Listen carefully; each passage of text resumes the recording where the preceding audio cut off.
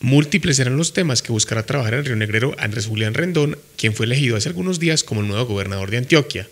Hombre de 45 años, que ya ha sido alcalde del municipio en el periodo 2016-2019. Pues bueno, lo que expusimos a lo largo de la campaña. Nosotros hablamos de aliviarle a Antioquia los dolores que tiene alrededor de la inseguridad, del hambre, de la violencia en contra de las mujeres, tramitar un gran listado de pendientes que tiene este departamento en asuntos muy importantes, levantar la infraestructura vial, la educativa, conectarnos digitalmente, llevar vivienda donde no hay 600.000 familias sin casa. El señor Rendón Cardona continúa entregando su mensaje a todos los antioqueños y agradece el apoyo que tuvo en las urnas. Poner nuestras unidades hospitalarias con verdadera capacidad resolutiva que tengan posibilidad en terreno aliviar a los enfermos.